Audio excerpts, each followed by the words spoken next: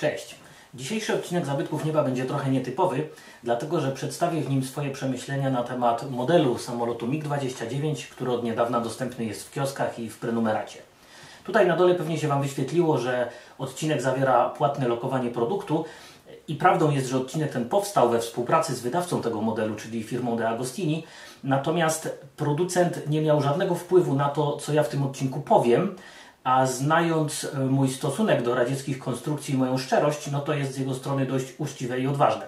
Ale tak naprawdę chcę powiedzieć parę rzeczy, które myślę o tym modelu, a które może niekoniecznie pojawiają się w innych recenzjach czy w internecie na jego temat. Jak wiemy, MiG-29 to zimnowojenny dwusilnikowy naddźwiękowy odrzutowiec, który został oblatany w Związku Radzieckim w 1977 roku, a od roku 1989 takie MiGi przewijają się również przez polskie siły powietrzne. Z tego co policzyłem, to 44 takie samoloty latały w Polsce. Trzy z nich zostały utracone całkiem niedawno, dwa się rozbiły. Jeden został utracony na skutek pożaru podczas obsługi naziemnej. Natomiast kilka trafiło do przestrzeni publicznej czy na uczelnie i do szkół, gdzie służą jako pomoc dydaktyczna. Więc jeżeli ktoś chciałby zbudować model tego samolotu, no to w Krakowie, w Warszawie i w Dęblinie ma dostęp do oryginału w muzeum. Można różne detale podpatrzeć i swój model ulepszyć. Model, o którym tu mowa, przygotowano w skali 1 do 24, czyli jeżeli ktoś się zdecyduje go budować, to raczej będzie to największy model w jego kolekcji. Większe modele to już raczej są modele latające. Tutaj dla przykładu jest model samochodu w skali 1 do 24, to jest taka wielkość. No to ten MIG będzie 4 razy większy. On jest zbudowany w podobnej technologii jak taki samochód, ale wymiary MIGa są tutaj. To jest model, który ma ponad 70 cm długości, także jest on naprawdę spory. Tutaj dla porównania wielkości pokażę Wam taki model, który ja teraz buduję, co prawda to jest statek i ten statek to jest model o 10 cm mniejszy od tego MIGa i MIG będzie miał rozpiętość taką, że będzie od tego statku dwa razy szerszy. Czyli to jest naprawdę konkretny model, który robi wrażenie swoimi rozmiarami. No i też z racji tego, że jest on metalowy, jeżeli weźmiemy takiego MIGa do ręki, no to to jest faktycznie no, kawałek e, substancji, która trochę waży. Natomiast co istotne, to proporcje myśliwca klasy MIG są takie, że on ma stosunkowo małą rozpiętość w porównaniu do długości, czyli dosyć łatwo go eksponować. Gdybyśmy chcieli zbudować w tej skali samolot klasyczny, no to on miałby rozpiętość porównywalną z długością, no i trochę problem jest, gdzie to postawić. Natomiast MIG z racji tego, że on będzie miał nieco ponad 40 cm rozpiętości, zmieści się gdzieś na półce, na stoliku i będzie zdecydowanie mniej kłopotliwy w eksponowaniu. To jest między innymi główny powód, dla którego ja robię modele statków, interesując się głównie lotnictwem, że modele samolotów w dużej skali no, są duże i szerokie. Statek, który ma metr, ma paręnaście centymetrów szerokości, można to ładnie na ścianie wyeksponować. Samolot ma wielką rozpiętość, ale taki MIG jest czymś pośrednim i faktycznie niekoniecznie trzeba mieć wielką willę, żeby ten model się zmieścił. MiG-29 z kolekcji De Agostini jest wykonany głównie z metalu, chociaż ma też sporo detali plastikowych a technologia jego budowy polega na skręcaniu go miniaturowymi śrubkami, także trzeba się zaopatrzyć najlepiej w taką magnetyczną matę, żeby te śrubki się nie pogubiły, podobnie jak to jest przy naprawianiu tabletów czy telefonów i model można sobie skręcać.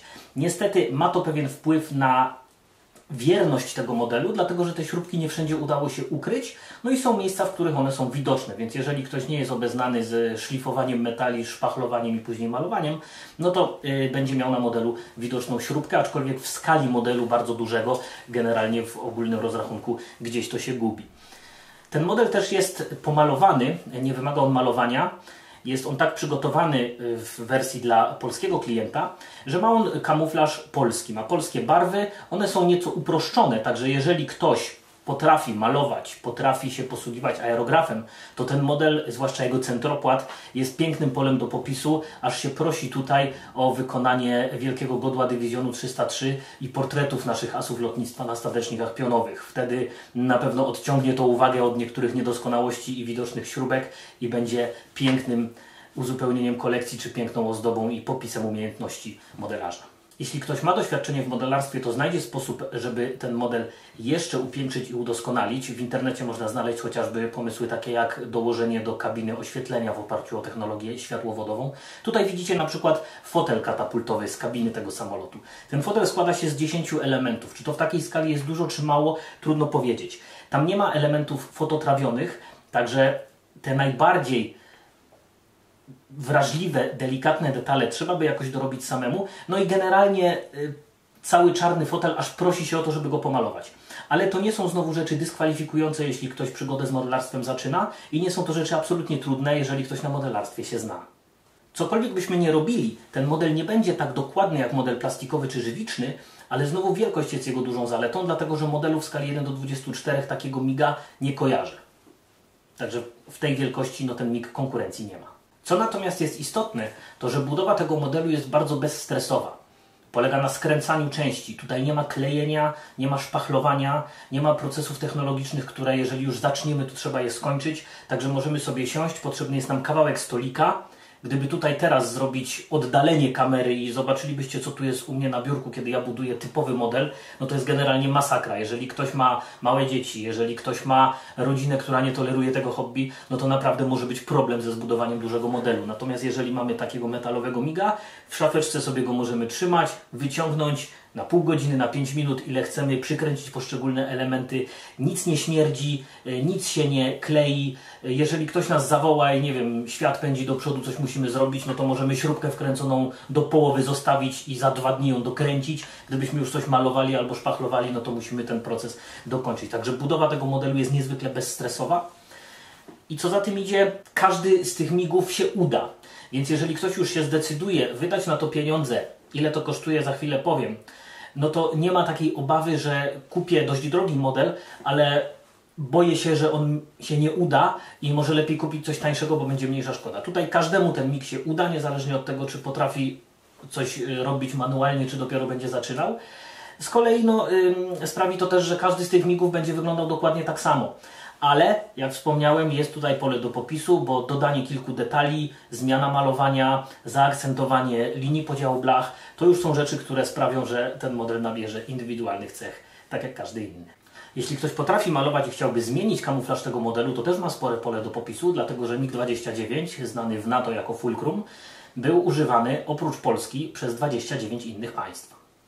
To, że zbudowanie tego modelu nie wymaga warsztatu i nie wymaga żadnych cudów, jest też dobrym pomysłem na to, żeby może zainteresować dziecko jakąś pracą manualną, może modelarstwem. W czasach, kiedy ja chodziłem do szkoły, czy też chodziłem do modelarni, to generalnie było dosyć popularne hobby.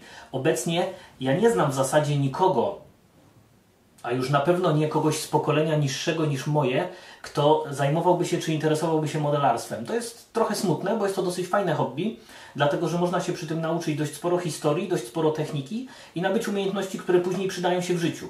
Obecnie młodzież jest zainteresowana tylko gapieniem się w ekran, ale kto wie dlaczego taki ekran działa, kto wie, jak wymienić baterię w jakimś telefonie czy w urządzeniu, która jest tam na stałe przylutowana. Nie są to technologicznie trudne procesy, a warto to wiedzieć, no bo każdy później będzie używał y, jakichś urządzeń AGD, będzie jeździł samochodem, można coś sobie naprawić z modelarstwa, naprawdę można wyciągnąć wiele na przyszłość. Także fajnie zainteresować dziecko takim modelem. A będzie to zainteresowanie e, dosyć y, skuteczne, myślę, dlatego że tak jak powiedziałem, ten model nie może się nie udać. Dawniej jak się robiło modele z drewna, z plastiku, jeden wyszedł gorzej, drugi lepiej, trzeba było trochę samozaparcia y, i nie bycia nastawionym na szybki sukces, żeby się nie zniechęcić.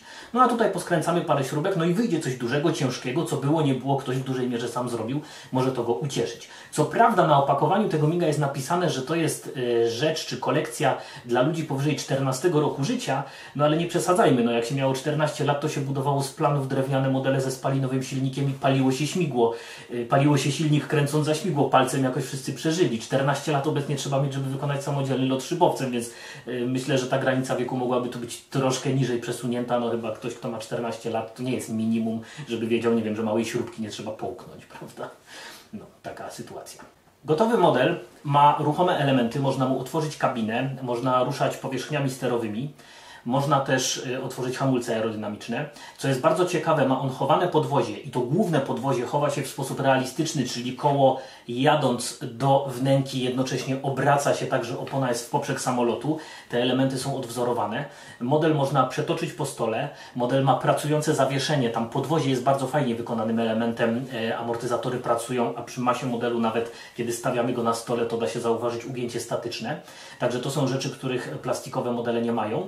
No i ten model też jest dość wytrzymały. To nie jest tak jak niektóre takie modele będące arcydziełami, że w zasadzie muszą stać w gablocie, bo niektóre detale potrafią być uszkodzone przez mocniejszy ruch powietrza. Tylko to jest model, który można spokojnie wziąć, postawić, można się pobawić, nie zniszczy się przy przeprowadzce, można go spokojnie szmatką, wodą umyć, odkurzyć, dbać o niego. Podobnie jak z tego typu modelami, bo jest to generalnie rzecz w podobnej technologii wykonana, czyli nie światowej sławy i muzealnej klasy dokładność, ale coś solidnego, z czym jeśli zrobimy tak, to wszystko jest dobrze z typowym żywicznym modelem, czy bardziej zaawansowanym, jakbym tak zrobił, no to już by było po detalach, prawda? Także też y, jakaś to zaleta jest. I jest jeszcze jedna rzecz bardzo istotna, którą mało kto podkreśla, mało kto się tym chwali, nawet łącznie z wydawcą tego modelu. Ale jeżeli poszukacie mm, filmów, na przykład na YouTubie, gdzie ludzie doszli z budową tego modelu do połowy, do dalszego etapu, ten model na przykład w takim zielonym kamuflażu był wydany wcześniej w Rosji i są filmiki, gdzie jest model w bardzo dużym stopniu zaawansowany, to tam jeżeli zobaczymy strukturę kadłuba, wszystko to, co jest tutaj pod centropłatem, e, przednią część wnękna, silniki, e, podwozie główne, to widać, że ten model posiada w środku całą strukturę. On powstał we współpracy z producentem prawdziwego myśliwca z firmą Miko Jangurewicz i naprawdę to widać, można poznać, jak ten samolot jest w środku zbudowany, gdzie idą podłużnice, gdzie idzie kratownicowa struktura, gdzie są wręgi. To jest coś, czego e, nie widać na razie na tym etapie, na jakim ta kolekcja jest wydana w Polsce, ale też jest to coś, czego nie ma żaden plastikowy model, który jest generalnie jednym odlewem. Tam, jeżeli zajrzymy do środka, jeżeli budujemy ten model, to w dużym stopniu powtarzamy proces technologiczny budowy prawdziwego samolotu i to jest bardzo ciekawe i daje sporo satysfakcji i przekłada się też na to, że ten model jest no, solidnym kawałkiem samolotu, jeżeli go weźmiemy e, do ręki. I model również ma działające oświetlenie, ma światła nawigacyjne i ma e, światła do lądowania, także można go sobie oświetlić albo przerobić to oświetlenie na jeszcze bardziej e, zaawansowane, jeżeli ktoś ma chęć i taką, takie umiejętności. Tam instalacja elektryczna już w modelu jest gotowa. Warto też wspomnieć, że budowanie tego MIGA wiąże się z zamawianiem kolekcji, która będzie się ukazywać w 120 numerach, które w tej chwili y, są co dwa tygodnie, od 11 numeru będą co tydzień. Zatem ostatni numer ukaże się, jeśli dobrze liczę, y, w czerwcu 2022 roku. Natomiast koszt całej kolekcji w prenumeracie to jest nieco ponad 3200 zł. I teraz pytanie, czy to jest dużo, czy to jest mało? Na to oczywiście niech każdy sobie odpowie sam, ale zwrócić uwagę bym chciał na to, że jeżeli oczywiście położymy tyle pieniędzy na stole, no to to trochę pieniędzy jest. Natomiast to nie jest koszt, jaki ktoś nam proponuje za szklankę wody czy bochenek chleba. To jest dobro luksusowe, to jest zabawka, to jest pasja w pasji do końca nie liczy się to, ile ona tak naprawdę kosztuje. Znam ludzi, którzy jeżdżą samochodem za 3000 zł i modlą się, żeby się nie rozleciał, no bo nie będą mieli czym jeździć do pracy, ale znam ludzi, którzy potrafią 3000 zł przepić w jeden weekend w knajpie w rynku. Także niech każdy sobie odpowie na pytanie, czy ten model jest tych pieniędzy wart. Moim zdaniem w dużej mierze tak, dlatego że po pierwsze w tej skali innego miga nie ma, po drugie w ogóle jest bardzo mało samolotów y, wykonanych w tej technologii, a po trzecie, oprócz tego, że kupujemy sam model, to dostajemy też gazetki, w których są różne zdjęcia, historie, informacje nie tylko o MiG-29, ale również o innych samolotach tej wytwórni, o konkurencyjnych samolotach. No a akurat ja, jak mało kto na YouTubie, wiem, że zdobycie rzetelnych informacji o samolocie i przekazanie ich w ciekawy sposób to też y, nie jest łatwa praca. W związku z czym ten kawałek historii, którego się dowiemy z tej kolekcji, też jest w jakimś stopniu wart tej ceny. Także tutaj e, od razu bym tego nie, jak to się mówi, hejtował, że a chcą 30 y, zł za gazetkę z kawałkiem blaszki albo z jedną oponą, tylko zobaczmy cenę całego modelu, podzielmy to na tych 120 numerów, no i niech każdy sobie odpowie, czy warto, czy nie warto. To też jest y, na tyle mniej obciążające dla y, budżetu domowego, no, że nie musimy tego modelu kupić od razu, no tylko ta cena rozkłada się na ponad dwa lata, więc aż tak to generalnie odczuwalne nie będzie. Ja raz w życiu zbudowałem model, który był y, sprzedawany w taki sposób w gazecie. Co prawda ja to zrobiłem mm, nie tak jak proponuje wydawca, tylko najpierw uzbierałem całość, a później już mając wszystkie części budowałem model, dlatego że to był model drewniany i troszkę inna technologia niż skręcanie i też model chciałem dość mocno przerobić ale generalnie y, na tamte czasy na pewno nie byłoby mnie stać na wyłożenie tylu pieniędzy naraz y, i to, że model się ukazywał w pewnych odstępach czasu, czy tam tygodnia, czy dwóch tygodni, już nie pamiętam jak to wtedy było, mi akurat pomogło. No ale oczywiście, jeśli chodzi o koszt, no to każdy musi sobie odpowiedzieć sam. Jeżeli po tym, co powiedziałem, ktoś zainteresował się kolekcją MiG-29 y, wydawnictwa De Agostini, to w opisie do filmu jest link, specjalny link dla widzów Zabytków Nieba, gdzie można wejść na stronę prenumeraty. Tam też są wszystkie szczegóły na temat kolekcji i oczywiście numer do infolinii wydawcy, gdzie można jeszcze więcej się dowiedzieć na temat modelu, który właśnie od niedawna ukazuje się w Polsce. Dajcie znać w komentarzach, czy ten model Was zainteresował i dajcie znać, czy może chcielibyście jakiś inny model tego typu kiedyś zobaczyć. Może zachęci to wydawcę, żeby jakiś na przykład polskiej produkcji samolot u nas zaproponować, tak jak to było w przypadku samochodów. Był Maluch, był Polonez, może czas na Iskrę, może Irydę, może jakiś przedwojenny polski samolot. Kto wie, może kiedyś taki się ukaże. A na razie mamy MIGA-29, z którym Was zostawiam. Link w opisie. Natomiast my już niedługo widzimy się w kolejnym odcinku i wracamy do samolotów też z metalu, ale już w skali 1 do 1. Do zobaczenia i pozdrawiam. Cześć.